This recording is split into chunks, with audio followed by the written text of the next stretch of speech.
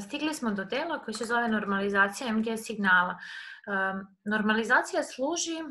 da učinimo amplitudu upotrebljivom i da možemo da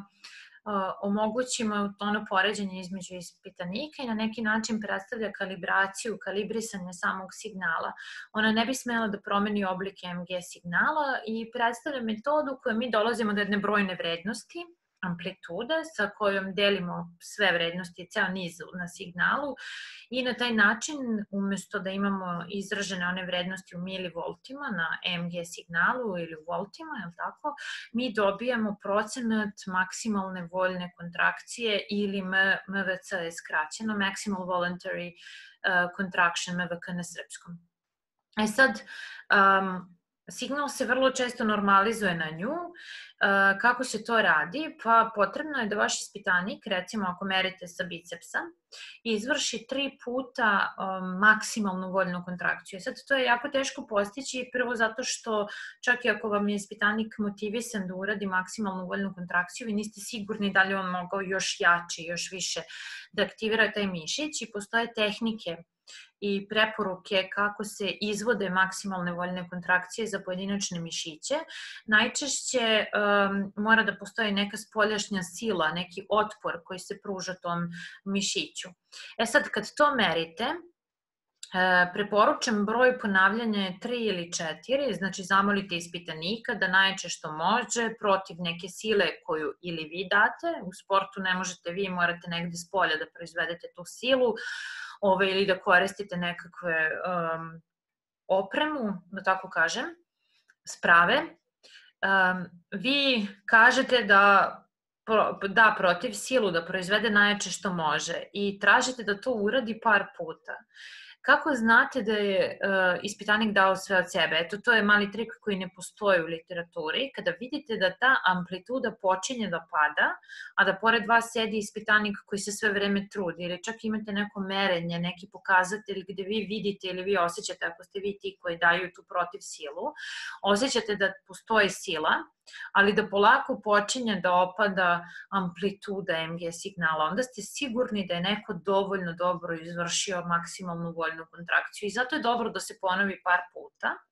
Nakon par ponavljanja vi treba da odaberete jednu od te maksimalne voljne kontrakcije, da nađete jedan amplitudski reprezent, uh, Rekli smo, istraživači iz Amerike najčešće kažu RMS vrednost, pa tokom kontrakcije odredite neki prozor. Ja sam najčešće radila sa pola sekundi, sekundu. Odredim, jer se ova maksimalna voljna kontrakcija drži par sekundi, brojite. I ono što je jako važno, što je njima u sportu potpuno normalno, meni malo strano, ali morate da imate to bodrenje i verbalno um, motivaciju da dodajete vašem ispitaniku da treba da nastavi da se opire jel te spoljnoj sili. I um, ono što je takođe nezgodno sad uh, što mnogi savetuju, ali ja nisam videla ikog da je tako sproveo studiju. Mnogi kažu da ako imate recimo uh, jedan tip pokreta, na primjer, dok sedim, neko mi drži prste, a ja po, pokušavam da odignem prste od poda. Znači to vam je, ono, to možete i sami sebi da date silu drugom nogom. I takođe, recimo, moj ugao kuka, moj ugao kolena je 90 stepeni, moj ugao članku je 90 stepeni, tako da imam ponavljan neki položaj ispitanika, pokušavam da podignem prste, ali postoji spoljna sila. I onda zapravo maksimalno aktiviran mišić tibialis anterior, to je ova prednja loža odmah ispod kolena, možete da osetite ovaj, aktivaciju tog mišića ako probate sad da izvedete to odizanje prstiju dok sedite. I um, recimo um, ja tako izmerim maksimalnu voljnu kontrakciju. Taj mišić, tibialis anterior, je jako važan tokom hoda i on se kod nas aktivira. Uh, dok hodamo i sad o, mnogi istraživači kažu pa da, ali nije trebalo da izvršite maksimalnu voljnu kontrakciju u sedećem položaju, već u, u tokom hoda, što je priznaćete malo teško izvodljivo da vi nekome dajete silu dok taj neko pokušava da napravi ko pokret. Tako da mislim da su to više um,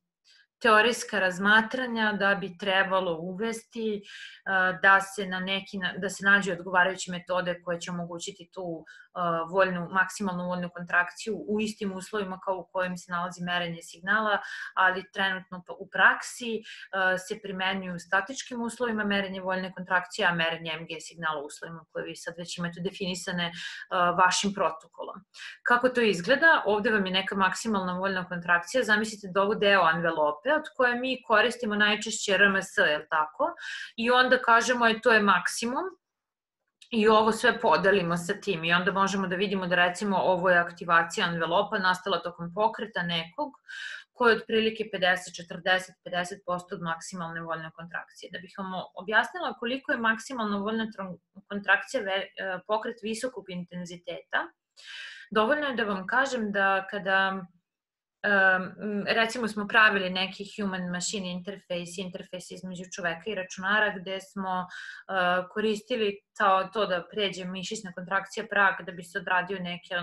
neka funkcija na računaru ili bilo šta, kada zadate 30% maksimalne voljne kontrakcije posle par ponavljanja takve kontrakcije, vaš ispitanik se zamori. Tako da maksimalna voljna kontrakcija zapravo predstavlja jako, jako veliku uh, mišićnu uh, aktivaciju. I naravno ovde su prikazane aktivacije značajno manjeg intenziteta od, manjeg intenziteta od maksimuma, ali u odnosu na ono kako izgledaju naše tokom dnevnih pokreta, tokom hoda, ovo su kontrakcije visokog intenziteta. Okay. Normalizacija signala e, nekada ne može da se odradi pomoću maksimalne voljne kontrakcije. Lično sam se u to uverila recimo kada smo radili studiju e, merenja aktivacije mišića leđa kod pacijenata koji su imali diskus herniju ili bol u leđima i razne druge probleme i onda ne možete, to su ljudi pod bolom koji inače ne mogu normalno da aktiviraju te mišiće, a kamoli da ih dovodite u stanja u kojima će oni da naprave maksimalnu voljnu kontrakciju, što je zapravo vrlo naporno. I e, za takve ispitanike nije etički prosto da tražite nešto od njih kad, kad su oni non stop pod bolom ili sedativima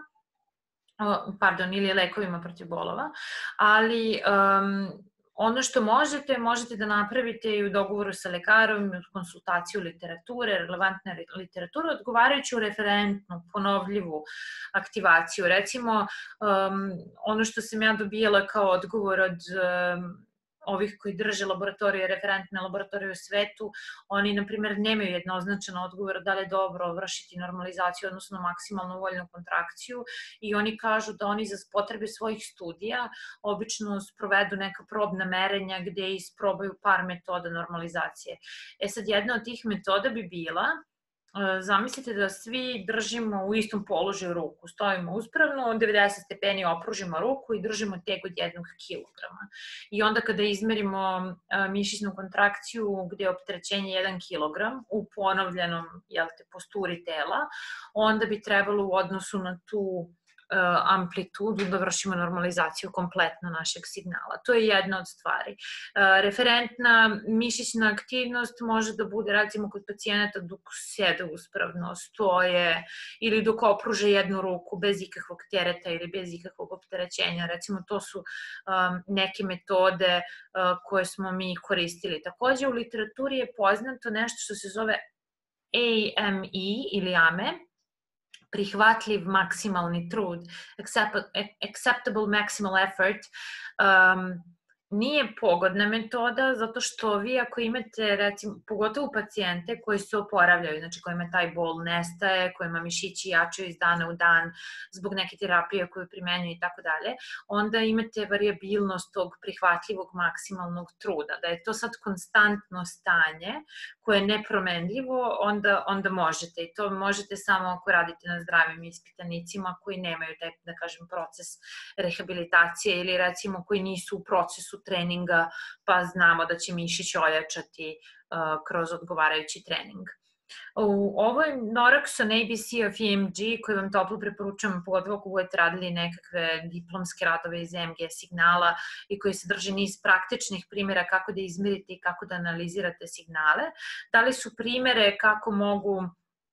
recimo da se aktiviraju signali, pa ono što možete da vidite bela strelica je kontrasila, um, pokret subjekta je crna um, crna strelica i onda vi recimo nekome držite ruku, on ne da vuče ruku ka sebi na taj način aktivira biceps, gde pritom pogledajte ponovljivu posturu, znači stojeći položaj, ovde je prav ugao u ramenu, prav ugao u laktu i onda se zadaje ta kontrasila. Uvek mora da se zada kontrasila ako želite da snimite maksimalnu voljnu kontrakciju. Ne može čovjek sam, da kažem, u vazduhu da je proizvede, prosto tako smo građani.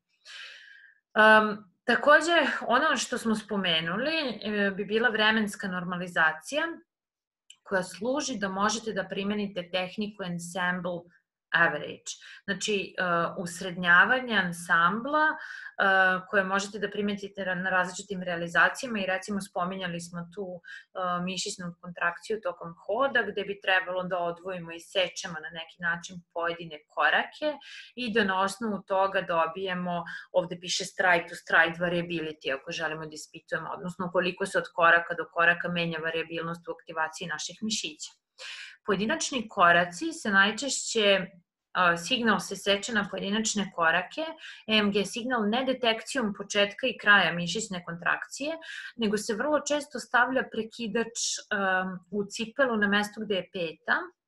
Nekad se koristi FSR u tu svrhu Force Sensing Resistor, na primjer, ili neki drugi senzor vrlo često se koriste i kapacitivni senzori ili drugi neki senzori sile zasnovani na mernim trakama. Znači, kada čovjek zgazi, zgazi petom o tlo, to se smatra početkom hoda. Do sledećeg gaženja tom istom nogom, tom petom, jel te, o tlo i onda se od prvog do sledećeg kontakta pete sa podlogom određuje početak i kraj pokreta, odnosno koraka i to je neki standard. Da sad ono što smo rekli, um, to je voljni pokret, I bez obzira što mi nakon onog inicijalnog ubrzanja, kada krenemo da hodamo, uđemo u neku uh, automatizaciju um, tog, tog hoda, jer hod je isto i refleksna aktivnost, postoji recimo vrlo izražen kod tek novorođenih beba, ako one imaju te reflekse, um, mogu da se aktiviraju tako što ih neko pomazi dlanom po uh, stopalu i onda one krenu ritmički da pomeraju noge. Takođe pokazano je da čak i kod pacijenata koji imaju prekid, ono, povredu kičmene moždine, ali kod zdravih ispitanika, ako na pojedinim mestima kičmene moždine se dovede električni stimulus, da noge kreću ritmički, da se, da se pokreću u stilu hoda. To nije pravi hod da ta osoba može silom da se odupre, da nosi svoju težinu, naravno tako što se stimuliše kičmena moždina, to je samo dokaz da postoji ritmička aktivnosti da se neki od tih centara nalaze u perifernom nervnom sistemu, to jest u kičmenoj moždini. E sad, bez obzira na tu automatizaciju i refleksni deo prirode našeg hoda, um, pošto je hod stariji od pokreta ruku i ima manje stepeni slobode nego naši pokreti ruku, stariji u smislu evolutivno postoji i kod drugih životinja, um, ti pokreti ne traju, koraci ne traju podjednako dugo. Da biste primenili usrednjavanje, sinhrono usrednjavanje ili ensemble average, oni moraju da traju podjednako dugo. I ovde je dat primer jedne studije uh, koju sam ja merila, gde postoje različite dve noge, jedna je paretična, druga je neparetična, koje su predstavljene kao likovi, da kažem, u ogledalu za par koraka. Um, primetite da e, šest i po sekundi traje i trajanje jednog hoda i drugog hoda, to su dva načina hoda jednog istog pacijenta, gde za jedan hod on obavi četiri, a za drugi tri i po nekih e, koraka. I primetite da u pojedinim situacijama ne postoje jasne razlike, postoje jasne razlike između um, aktivacije mišića e, koje je na paretičnoj i ne, na neparetičnoj nozi. Inače, pošto je hod simetrična aktivnost, Uh, vidjet ćete vrlo često u velikom delu literature se izbegava da se kaže paretična i zdrava noga, pošto zdrava noga značino kada je jedna noga povređena, ili paretična, kao što je to u slučaju pacijenata koji su preživjeli moždani udar, onda i ta druga noga menja svoju onu normalnu aktivnost. Tako da um, i ona ima neku um, aktivaciju koja ne možemo da kažemo da odgovara zdravom obrazcu kad su obe noge podjednake, tako da se vrlo često kaže namerno neparetična i paretična noga umesto što se kaže um, paretična i zdrava noga. Kako se vrši vremenska normalizacija? Pa zamislite da imate jednu anvelopu, obvojnicu za jedan mišić tokom jednog i tokom drugog koraka i o, obično centralni segment uskladimo da im bude isti. Znači kao ono za R pikove što smo radili, da svi R pikovi budu na istom mestu kod EKG signala. I e sad kod EKG signala smo znali tačno trajanje onih PQRST segmenta, pa smo mogli da kažemo 30 milisekundi primjera radi navodim samo vrednosti pre R pika i 50 milisekundi nakon R pika. Međutim, ovde ne možemo to da uradimo i onda delimo na procentualne odnose ove signale i na neki način mu radimo down sampling. Ovde je pokazano kako bismo podelili na neke elemente i gledamo od movement, movement cycle Tako da početak bude na 0%, kraj na 100% i podelimo na isti broj segmenta i to vam je grafički ovde prikazano i svaki od tih segmenta predstavimo jednim odbirkom. Na kraju ćemo imati reprezent jednog i drugom pok, drugog pokreta uh, sa istim brojem odbiraka, odnosno moći ćemo da izvršimo usrednjavanje tako što ćemo ovu tačku i ovu tačku da saberemo, podelimo sa dva ili sa koliko već budemo imali koraka. Znači svaki segment predstavlja određeni uh, procenat u okviru ciklusa i ovo je jedini način kako možete da izvršite vremensku normalizaciju. Negde vam intuitivno jasno da na ovaj način gubimo rezoluciju, jel tako, vremensku, zato što moramo da uradimo down sampling i treba naravno o tome voditi posebno uh, računa. Kada uradite tako, dobijete, na primjer, ove tri pokreta, to je uh, pokret koji se ponavlja u vremenu, u ovom slučaju korak, odnosno aktivacija mišića tokom jednog koraka. Ovde je ilustrativno to pokazano, ne izgleda baš ovako aktivacija ni jednog mišića nogu tokom koraka, ali ono što je interesantno kada uradite to usrednjavanje, osim što ćete dobiti ovu jedan rezultat usrednjavanja, koji bi trebalo da vrši um, low pass filtriranje, što ovde baš nije najidealnije prikazano, jel te ostali su ove visokofrekventne komponente. Ono što takođe možete um, da nacrtate jeste standardne devijacije, pošto ako ima sad ovde nacrtano 3, ali recimo 30 koraka, za svaki korak imate um, definisanu srednju vrednost, to je ova naša rezultujuća kriva i standardnu devijaciju oko plus i minus oko te krive i onda dobijete ovako jednu krivu gde vidite kolika je variabilnost pojedinih segmenta. To isto je nekako korisna stvar, pošto mi nismo radili ensemble average, samo smo ga spominjali, ali mislim da je korisno da, po, da vam pokažem da čak i na ovaj grafički način možemo da predstavimo srednju vrednost zajedno sa standardnom devijacijom i da je to nekad vrlo korisno i uh, za analizu. Ono što se takođe vrlo često ispituje, to je odnos sile i mišićne kontrakcije, gde se meri sila koja se proizvodi, jel tako, pokretom i meri amplituda mišićne kontrakcije. Nažalost, EMG signal um, i sila imaju nelinarnu uh, zavisnost i to je takođe jedna od mana uh, da kažemo, EMG signala, što postoji ta nelinarna zavisnost između sile, o čemu takođe treba voditi računa, jer to onda znači da amplituda samog signala um, nije direktan pokazatelj, linearni pokazatelj uh, sile. Tako da to takođe treba imati na umu kada se porede um, EMG signali. Um, Ona se naravno menja u odnosu na to da li postoji zamor, na kome merite, tako da amplituda, bez obzira na njenu normalizaciju, treba biti veoma pažljiv prilikom donošenja zaključaka šta sve može e, da se izvuče iz ovog signala i treba biti pažljiv prilikom odabira odgovarajućih metoda za njegovu analizu. Ono što je takođe zanimljivo, o čemu vam nisam pričala, to su razne tehnike vizualizacije MG signala i ja ću vam danas pokazati jednu jako zanimljivu koja se zove mišićna kokontrakcija. Kokontrakcija znači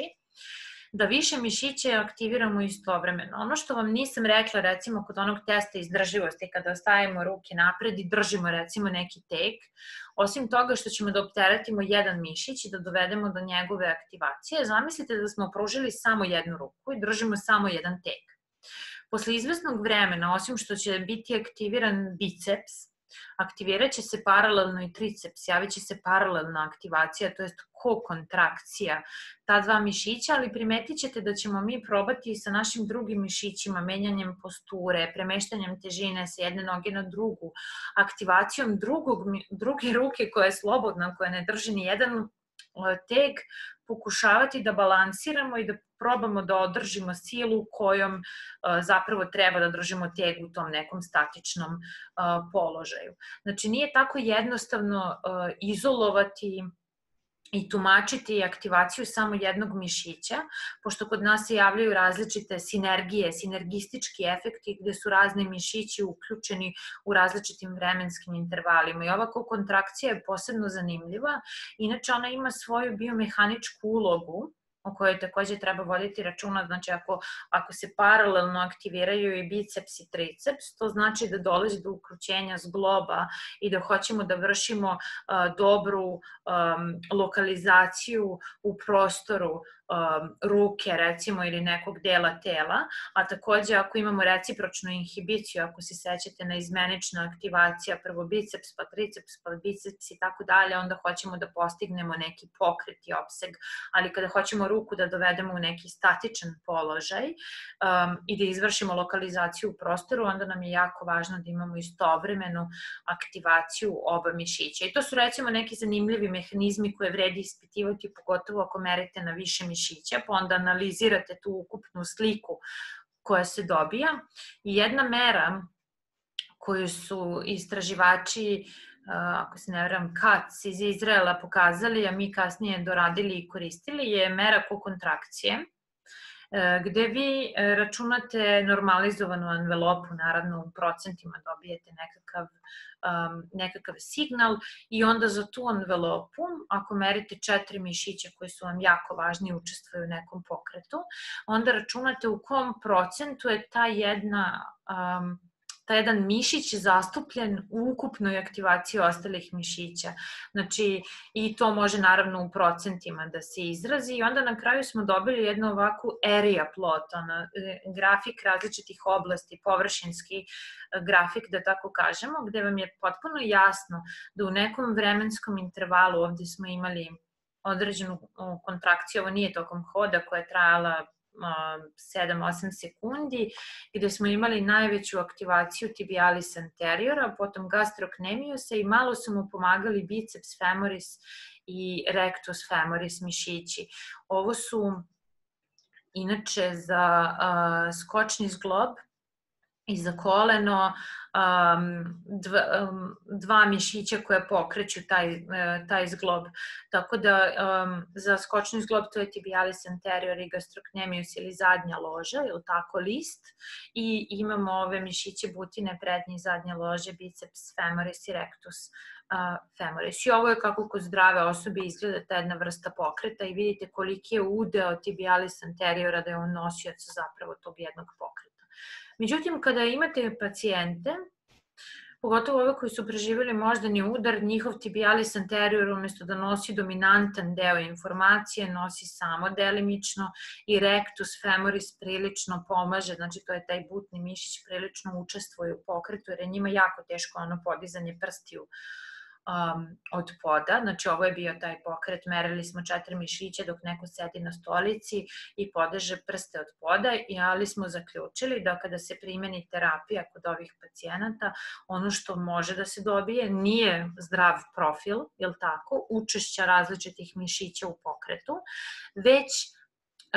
je e, put ka zdravom profilu, znači oporavak kao koji sad nije, da kažemo, ne može da bude potpuno kao zdrav, ali je teži tome gde vidite koliko se smanjila aktivacija ovog butnog mišića, a koliko se povećala aktivacija tibialis anteriora i gde ovaj profil početka i kraja mišićne kontrakcije se malo izgubio, ali, ali ovaj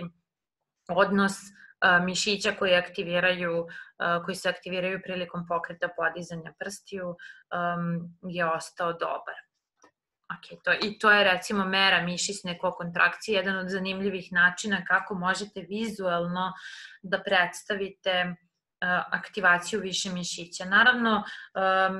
danas elektrofiziologija i to će negde vas sačekati. Ja sam na prethodnom predavanju pokazala kako izgleda recimo slika, ako se sećate ona fotografija gde veliki broj EG elektroda se nalazi na glavi, gde vi sad više razgovarate o analizi slike kada pričate o elektrofiziološkim signalima, postoji velika težnja da se MG signali mere sa velikim brojem kontakata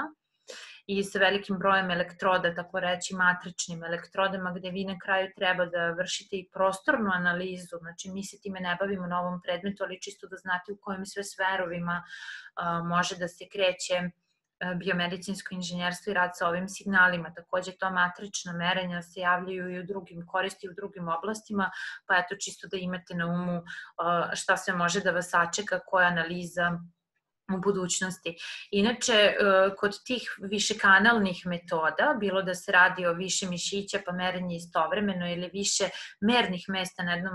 mišiću, jako je važno e, da se radi vizualizacija pravilno, zato što uvidom u te signale možete da dostignete um, da dođete do odgovarajuće informacije. Inače, vrlo često uh, se kaže, ovi koji se bave obratom signala, da je vizualizacija nekad um, završava posao, da u momentu kada prikažete korisnu informaciju, pitanje je da li morate dalje da primenjujete um, metodu za ekstrakciju obeležja, takozvani feature extraction, ili neku metodu mašinskog učenja. Ono što bi trebalo da iznesete kao zaključak ove prezentacije, koja je više bila okrenuta okrenuta jednom signalu i svim metodama koje mogu da se koriste za analizu jednog signala, a manje ono što smo do sada imali priliku da radimo meto, opisujemo metodu pa uzimamo samo signale kao primere. Ovaj signal može biti izvor relativno velike količine informacija. Setite se samo od amplitude, preko njegovog frekvencijskog sadržaja, da li je došlo do zamora, do toga kako se, kako rade ti sinergistički koncepti u našem organizmu i gde aktiviramo različite mišiće istovremeno. Ali ono što takođe treba da imate na umu, informacija je korisna, ako možemo da je predstavimo kvantitativnim parametrima i ako dovoljno dobro razumemo signal koji je meren i sve tehnike koje su na njeme primenjene i efekte koji naravno su mogli da utiču na njega. Um, Karl Luka, um, američki naučnik uh, koji je napisao ovaj rad koji se vrlo često koristi kao jedan od korenih i vrlo važnih radova za analizu ovog signala, je svojevremeno je objavio da je elektromiografija metoda koja je tako jednostavna za, korišćenje, ali i za zloupotrebu, za iskorišćavanje. Uh, Uh, upravo zbog toga što su to signali koji su dostupni, koje možemo vrlo jednostavno da merimo. Um, ljudi misle da ih je jednostavno i analizirati, naprotiv. Um, to su, to su zapravo veoma, veoma teški signali za analizu, pogotovo ako morate da se bavite um, amplitudskim, vremenskim normalizacijama, onda zaista to može da bude jedan jako, jako težak uh, posao. Ono što sam ja htjela dodatno da vam pokažem, pre nego što završimo sa današnjim predavanjem, samo da podelim to, jedan rad iz uh, 2019. ili 20. nedavno sam ga videla, ali mislim da je objavljen 19. godine iz Nature Communications se bavio nekim novim trendovima u MG-u, pa eto prilika, pošto Nature i Science su, da kažem, najcenjeniji u, u nauci časopisi, pa eto prilika samo da vidite šta su neki novi trendovi. Ovde kaže da nov, jedan od novih trendova jeste da se koriste suve elektrode, takozvane suve elektrode um, iz koje, koje se postavljaju na kožu. Znači, to je jedan od uh, načina za dugotrajno merenje, zato što bez obzira što mi dan danas najbolji efekat, odnosno najbolji signal možemo da izmerimo samo ako imamo elektrodu sa gelom, provodnim gelom, zato što nam to omogućava da smanjimo impedansu na kontaktu elektroda koža, ali eto, nek, neki novi razvoji nisu samo uključeni ka analizi, već ka merenju signala. Zašto vam na predmetu koji se bavi analizom spominje merenje? Zato što ti signali definitivno, sad ću da vam pokažem tačno kako izgleda ove elektrode, vrlo je zanimljivo, ti signali definitivno će izgledati drugačije od onih koje mi sad imamo priliku da izmerimo, a vi ćete verovatno biti ti koji će sačekati um, merenje ovakvih signala koje su na neki način uh, samolepive. Oni su ovde koristili i uh, model svinske kože, na ovoj slici za određena testiranja i ono što su takođe otkrili to je uticaj dlačica, na primjer, na merenje, pošto za sada ako pratite Senijan protokol za bilo koje merenje MG signala mora da se uklone, um, uklone sve dlačice sa regije na koje se postavljaju elektrode, a ovo su recimo um, elektrode koje su dovoljno savitljive i koje mogu da prate um, bilo kakve e, pore na koži koji mogu da ostvare jako dobru impedansu. To naravno sa sobom nosi i cijelu priču oko toga da čim vi menjate impedansu na kontaktu elektrode i kože i pratite možda neke neravnine na koži, možete da dobijete signale koji imaju drugačiji frekvencijski opseg, drugačiju amplitudu, drugačije se ponašaju i naravno o tome treba da vodite računa kada primenjujete odgovarajuće, odgovarajuće metode analize.